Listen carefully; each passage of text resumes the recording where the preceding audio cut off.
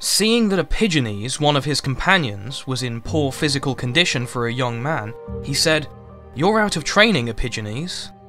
I don't do physical training, Socrates, he replied. But you ought to, just as much as a prospective competitor at the Olympic Games. Or do you think that the mortal struggle against her enemies in which Athens will sooner or later involve you doesn't matter? And yet, in the hazards of war, it's not uncommon for people to lose their lives through lack of fitness, or to save it only ignominiously.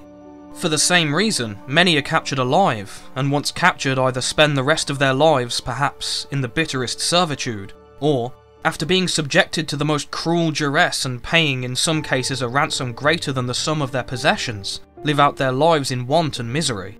Many too win a bad reputation because their physical debility makes them seem to shirk danger.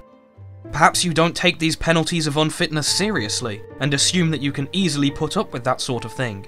In my view, at any rate, the prospects that await a man who cares about his physical fitness are much easier and more pleasant. Or perhaps you think that unfitness is both healthier and in general more good for you than fitness, or are scornful of the results that fitness brings? In point of fact, the consequences of keeping oneself fit are entirely contrary to those of failing to do so. In the first place, those who keep themselves fit are healthy and strong, and this means that many of them come through the conflicts of war with honour and escape from all its dangers. Many help their friends and do service to their country, and so earn gratitude and win glory and achieve the most splendid honours, and consequently live out their lives with greater pleasure and distinction, and leave behind them a better start in life for their children.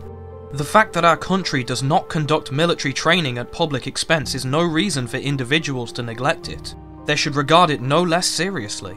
You can take it from me that there is no other feat of endurance either. In fact, there is no other activity of any kind in which you will be at a disadvantage for having your body prepared. The body is valuable for all human activities, and in all its uses, it is very important that it should be as fit as possible. Even in the act of thinking, which is supposed to require the least assistance from the body, everyone knows that serious mistakes often happen through bad health. Many people's minds are often so invaded by forgetfulness, despondency, irritability, and insanity because of their poor health that their knowledge is actually driven out of them. On the other hand, those who are in good physical condition have ample cause for confidence and run no risk of any such misfortune through debility.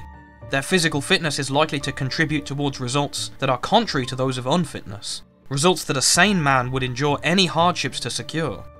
Besides, it is a shame to let yourself grow old through neglect before seeing how you can develop the maximum of beauty and strength of body. And you can't have this experience if you are negligent, because such things don't normally happen by themselves.